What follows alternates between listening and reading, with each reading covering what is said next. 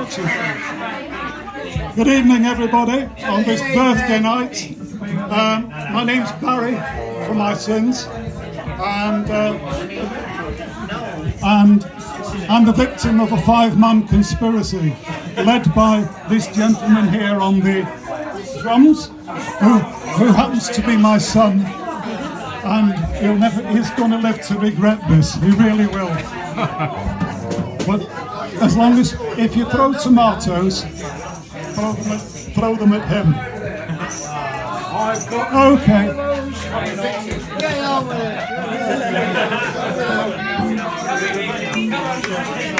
Oh, and the saints go marching in. Eh?